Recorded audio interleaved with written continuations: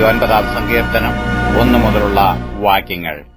ദേവപുത്രന്മാരെ യഹോവയ്ക്ക് കൊടുപ്പീൻ യഹോവയ്ക്ക് മഹത്വവും ശക്തിയും കൊടുപ്പീൻ യഹോവയ്ക്ക് അവന്റെ നാമത്തിന്റെ മഹത്വം കൊടുപ്പീൻ വിശുദ്ധാലങ്കാരം ധരിച്ച് യഹോവയെ നമസ്കരിപ്പീൻ.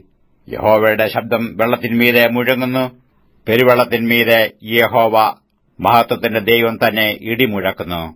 യഹോവയുടെ ശബ്ദം ശക്തിയോടെ മുഴങ്ങുന്നു യഹോവയുടെ ശബ്ദം മഹിമയോടെ മുഴങ്ങുന്നു. യഹോവയുടെ ശബ്ദം ദേവദാരുക്കളെ തകർക്കുന്നു.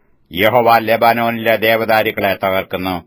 അവനവയെ കാളക്കുട്ടിയെപ്പോലെയും ലബാനോനെയും സീരിയോനെയും കാട്ടുപോത്തിൻ കുട്ടിയെപ്പോലെയും തുള്ളിക്കുന്നു. യഹോവയുടെ ശബ്ദം അഗ്നിജ്വാലകളെ ചിഹ്നിക്കുന്നു യഹോവയുടെ ശബ്ദം മരുഭൂമിയെ നടുക്കുന്നു. യഹോവ കാദേശ് മരുവിനെ നടുക്കുന്നു. യഹോവയുടെ ശബ്ദം മാൻപേടകളെ പ്രസവിക്കുമാറാക്കുന്നു. അത് വനങ്ങളെ തോലിരിക്കുന്നു. അവന്റെ മാനിരത്തിൽ സകലവും മഹത്വം എന്ന് ചൊല്ലുന്നു. യഹോവ ജലപ്രളയത്തിന്മീതെ ഇരുന്നു. യഹോവ എന്നേക്കും രാജാവായിരിക്കുന്നു. യഹോവ തന്റെ ജനത്തിന് ശക്തി നൽകും. യഹോവ തന്റെ ജനത്തെ സമാധാനം നൽകി അനുഗ്രഹിക്കും.